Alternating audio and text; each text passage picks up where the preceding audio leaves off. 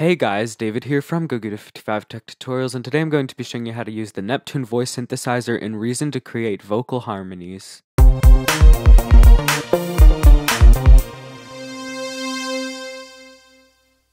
Okay, so let's get started. So to do this, you're actually going to need Reason 6 or onward, because this is the version of Reason that Neptune was included in at first, and it has been included ever since Reason 6. So the first thing that I'm actually going to do is I'm going to go ahead and play the vocals with the vocal harmonies that we are going to be creating, just so that you can get an idea of what we're going to be doing. I don't know where to go after gone. Just so you know,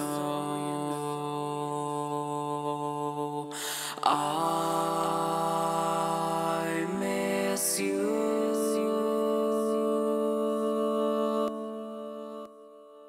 So, believe it or not, those vocal harmonies actually were just created with Neptune voice synthesizer from the original vocals. And now I'm going to play just the backup vocals or the vocal harmonies so that you can hear.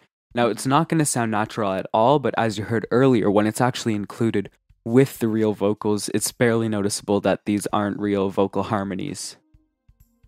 So, this is just Neptune voice synthesizer by itself.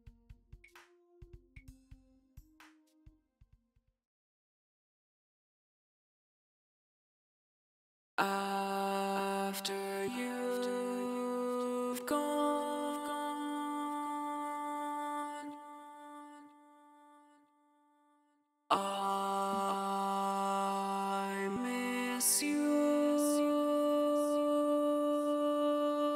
Okay, so let's go ahead and create those. So the first thing that I'm actually going to do is I'm going to go ahead and duplicate the vocals track. Now you might ask why I don't just apply a Neptune to the original vocal track, and that's because even I find when Neptune pitch correction isn't enabled, Neptune still leaves traces in the original vocal for some reason, even though it's not supposed to.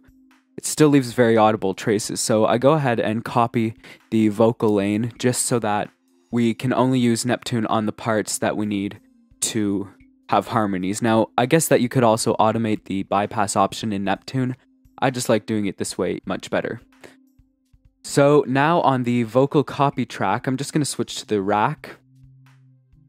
And I'm going to add a Neptune pitch adjuster. I'm going to make it the very first effect in the chain. And we're not going to be pitch correcting this, so I'm just going to change the pitch adjust off. Next, I'm going to change the pitched signal to zero, and I'm just going to leave the voice synth at 100. I'm also going to change the MIDI destination to voice synth. If you don't do this, this will not work. Now, the reason that I changed the pitch signal to zero is because this duplicated vocal track is going to be for our vocal harmonies only. We don't want any of the original vocals coming through because we have the original vocal track for that. So once you've gone ahead and done all that, you have to right click the Neptune and hit create track for Neptune. Okay, now I'm going to switch back to the sequencer and I'm just going to play it back. And I'm just going to play random notes on my MIDI keyboard to show you basically what this is going to do. Now, as you heard earlier in my examples, I was only playing one note because that's all I wanted in my vocal harmonies. However, you can play as many notes as you'd like.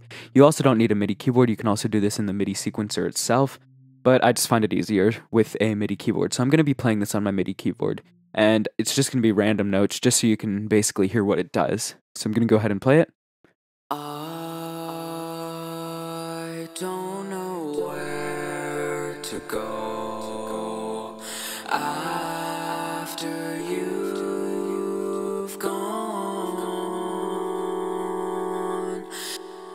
So yeah, I told you it was just going to be random notes, and as you can hear, that really did not sound very pleasant.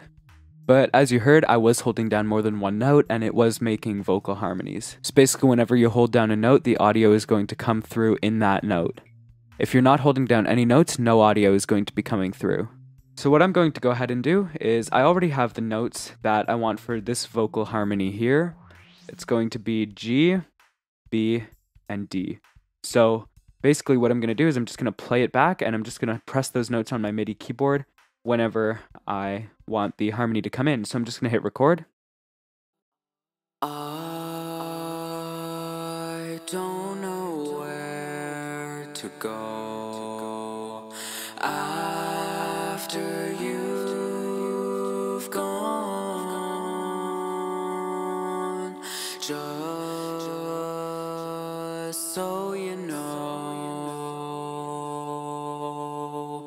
I miss you. I'll leave through the dark. I'll be on my way. If you try to come back, Tell you I knew.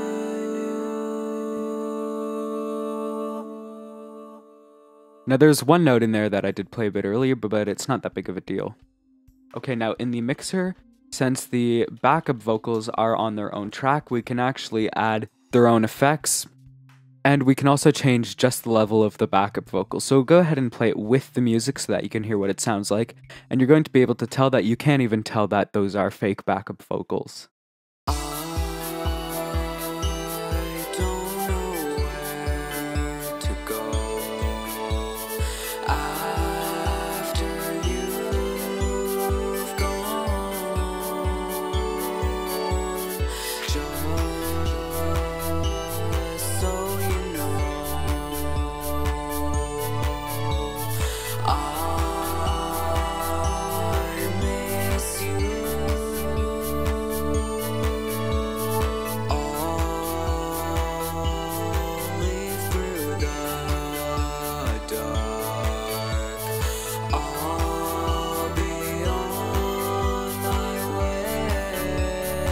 That was the note I played too early.